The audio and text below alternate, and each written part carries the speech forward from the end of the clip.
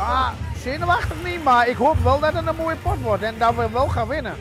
En dat we naar de achtste finale in gaan. En uh, heb je er een beetje vertrouwen in dan? Ja. En ik zeg, Bootje weg als die schoort en men vis erbij.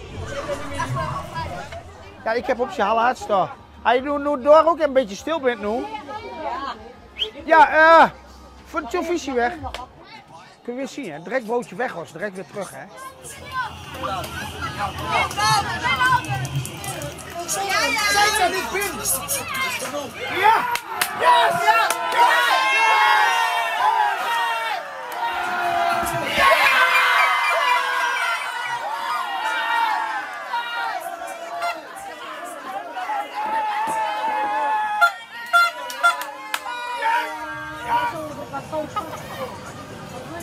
Het is net zoals je bij je Herakles zit.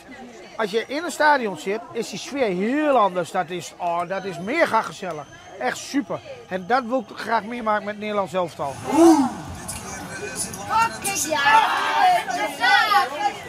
Je moet nog drie. Met wie ga je mee naar rest? Oh, drinken mee.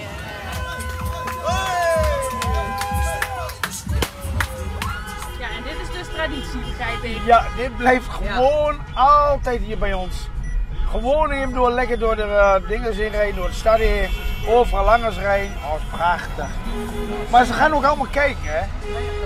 Maar uh, jullie doen alsof het EK al uh, gewonnen is. ja, in principe wel. Het is hartstikke mooi dit. Dat is prachtig.